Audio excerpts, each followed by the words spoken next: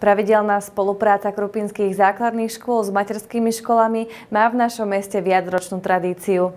Nedávno si škôlkarov pozvali do svojej telocvične žiaci základnej školy Jozefa Cigera Hronského, kde pre nich pripravili detskú olimpiádu. Aká by to bola olimpiáda bez maskota? Ten v podobe slniečka privítal deti ešte pred vstupom do telocvične. Potom už mali športovci vchádzali do telocvične a všetci dobre vedeli, čo ich tu čaká. Čo sa tu bude robiť?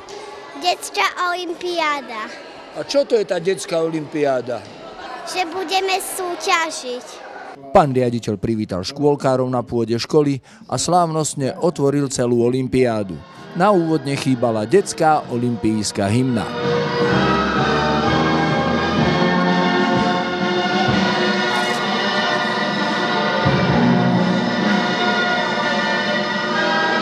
Pred zápoleniami školáci pripravili pre mladších kamarátov rozcvičku a pristúpilo sa k plneniu samotných disciplín. V tej prvej sa museli vysporiadať s prekážkovou dráhou. Bolo najťažšie to preskakovanie. A prečo? Lebo keď, sme, keď sa zatáčame, no tak musíme rýchlo skočiť. Niektoré deti sa tu stretli aj s malými komplikáciami, no za pomoci pani učiteľky sa prekážky dali zvládnuť. Neviem, čo sa stalo. Lebo, lebo som mi to, lebo o, to bolo také veľké prekážka a potom to som nevedela skákať. I- ide im to celkom, občas niečo vynechajú, ale to sa prehliadne. Stalo sa párka, že aj zrútili prekážku, alebo?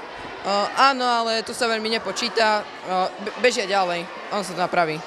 Pri druhej zastávke absolvovali predškoláci hod loptov do priestorov švédskej debny. Bola to ťažká úloha? E, Čo bolo na tom najťažšie pre teba?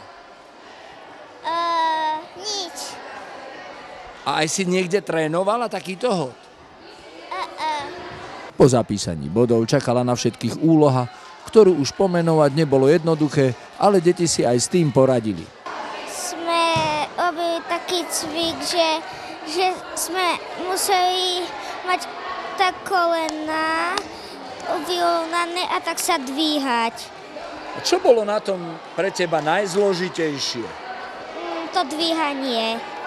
Prečo? Lebo to sme sa museli tak pokočiť a zase ísť dole. V druhom rohu si svoj stan rozložili hokejbalisti. Aj tu, ako na všetkých stanovištiach, škôlkárov hodnotili, ale im aj pomáhali starší žiaci. Ako to ide deťom? Je mi to výborné, veľmi sa snažia a ako na to, že sú predškoláky, predško, predškoláci, tak mi to ide výborne. No ale predsa len s niektorými máte trošku viacej starosti.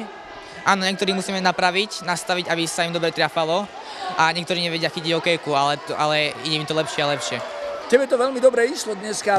Už si aj hral hokej niekedy? Nie, A kde si sa to naučil tak dobre triafať? nikde. Na futbale. Po hokejbale zostávali ešte tri úlohy. V tejto úlohe ste museli najprv vyliesť po rebrinách a potom sa spustiť po lavičke. Čo bolo pre teba ťažšie? Šúchať. A prečo? Pretože lebo to nebolo také jednoduché. Po lezení na lavičke museli mali športovci zvládnuť snáď najnáročnejší part. E, Deti musia preliesť ponad dlhú rieku, ktorá je plná piraní a musia si dávať pozor, aby nespadli. A ako im to ide? Sú všetci veľmi šikovní, ešte nám nikto nespadol. Bola to ťažká úloha. Nie, nebola. A čo ti robilo najväčšie problémy?